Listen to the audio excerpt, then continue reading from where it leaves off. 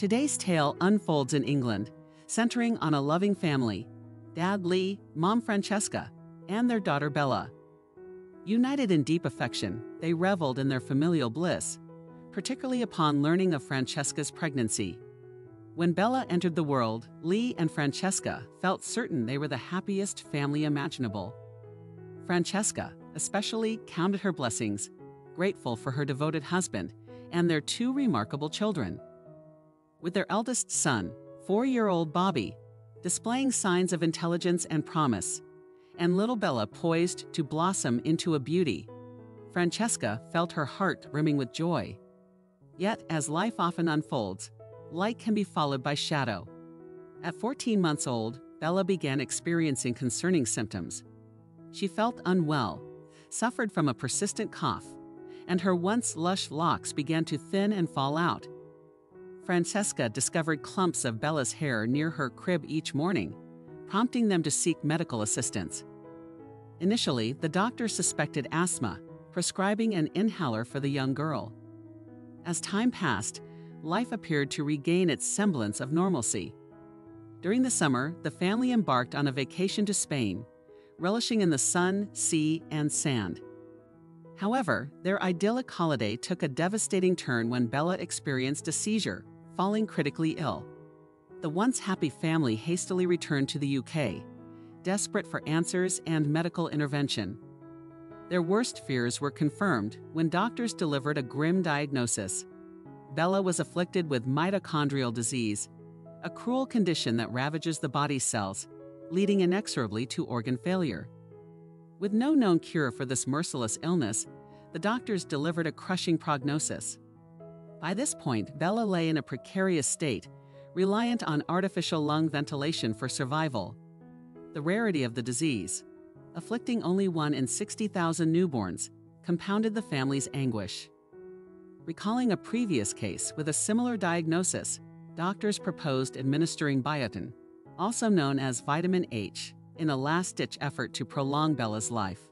Despite the medical team's valiant efforts, Bella's condition deteriorated to a critical juncture, her life hanging in the balance. Ultimately, the agonizing decision was made to remove her from the ventilator.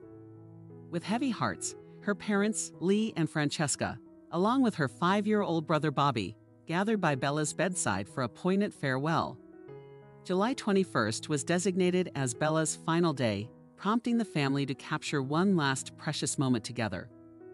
In a poignant scene, Francesca and her husband tenderly kissed their daughter goodbye, struggling to summon the strength to bid her farewell.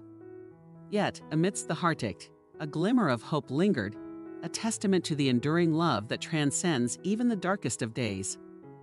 30 minutes later, a miraculous turn of events unfolded. Within the confines of Bella's hospital room, the silence was shattered by the sound of her cries, a testament to the resilience of the human spirit. Recounting this pivotal moment in an interview, Francesca described the profound connection she shared with her daughter.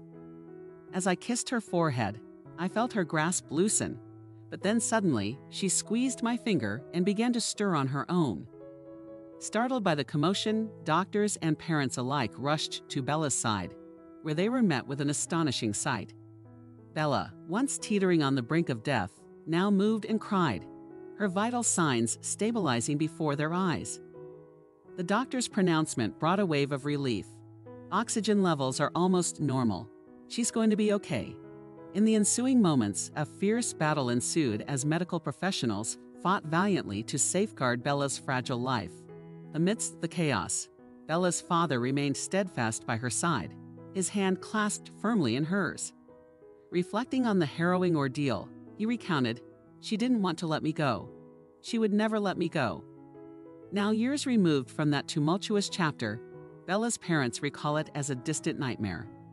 Their daughter, once on the precipice of death, now thrives, embodying resilience and vitality.